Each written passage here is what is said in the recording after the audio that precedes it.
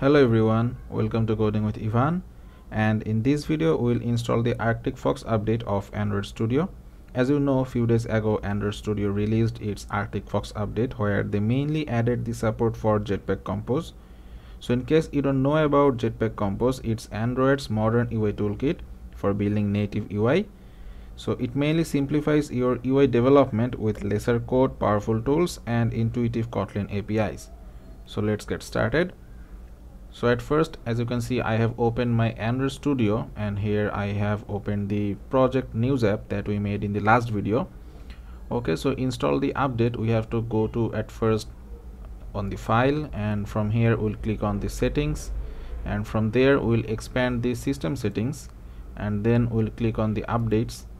And here we'll select the stable channel and then let's click on check now so it's checking for updates.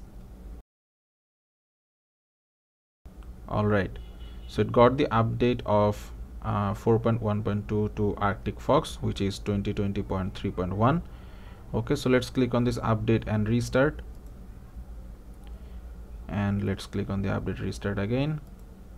Now it's downloading the patch files and that will take some time. One eternity later alright guys now our update is done. It's asking to exit the android studio so that it will restart. So let's click on exit.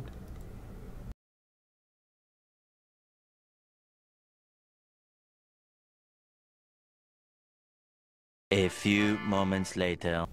Alright guys so as you can see our android studio is now updated to arctic fox 2020.3.1 so it's starting now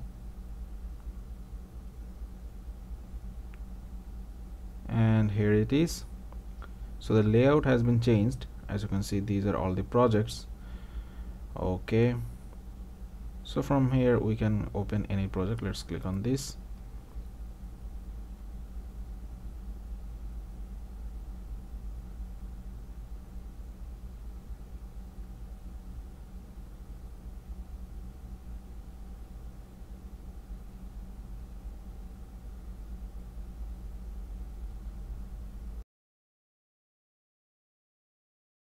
okay so now our gradle updates are done. So here is our android studio. So now let's check the version of it. So I'll click on this help here and click on about. So here as you can see it's updated to arctic fox. Alright that's how we can update our android studio to arctic fox. I'll put a link of an article where you can read about the changes made inside this arctic fox update and if you want me to make a video on that you can also comment down below. And thank you so much for watching